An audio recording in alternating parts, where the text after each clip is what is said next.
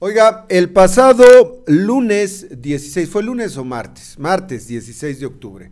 Martes 16 de octubre, el gobernador del estado encabezó el inicio de la tercera semana nacional de vacunación 2018 y también el inicio, la puesta en marcha de los programas estatales Salud en tu escuela y Eres lo que comes. Esto se llevó a cabo alrededor de las 10 10.30 de la mañana en la escuela primaria Madero y Pino Suárez de Morelia.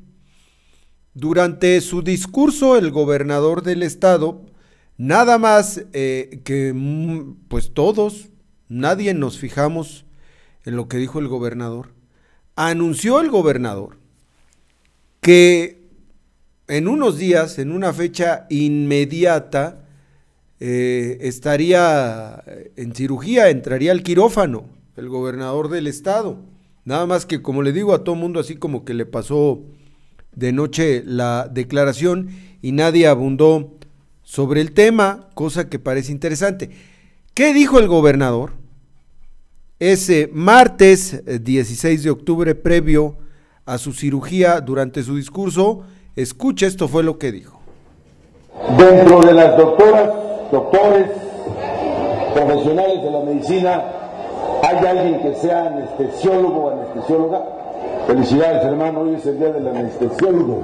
Ustedes un aplauso. Bueno, espero que todos sean buenos como tú.